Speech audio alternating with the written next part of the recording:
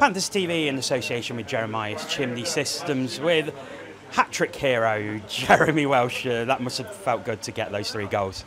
Yeah, it did. Uh, the team was playing well too. So when we're passing it around and uh, my line mates were doing their thing, the, the puck just kind of shows up. And right now everything's going in for me. So um, there's a lot of good stuff with our transition and other lines. We're getting rush chances. So it looked it looked really good tonight.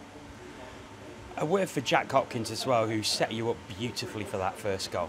Yeah, everybody was pretty happy for that, and uh, a little flash of his talent there. So uh, obviously, it's tough for any player if uh, you're not playing big minutes and, and, to get comfortable. So everybody likes Jack, and uh, it's just great to see him uh, have a flash of his uh, potential there.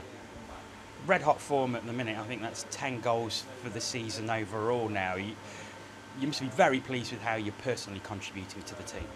Yeah, I, I would prefer to save them for the regular season games, so uh, it's a little bittersweet. But uh, uh, yeah, I guess just kind of letting other players do their job and uh, finding the right pockets, and uh, when you're hot, pucks just bounce around the net for you and stuff. So uh, when you're riding a hot streak, you just keep going because a good result tonight, but tomorrow you face Manchester again in their ring, a notoriously difficult ring to go and play in.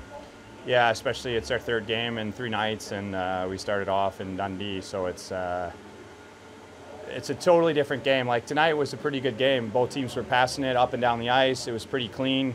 Uh, then tomorrow, when you go into the storm shelter, it's just uh, chaos. So uh, yeah, we'll have to get our coffee and our supplements in and kind of wake up for that one. Well, Jeremy, congratulations on your performance tonight. Good luck for tomorrow and thanks for joining us. Yeah, my pleasure. Thanks a lot, guys.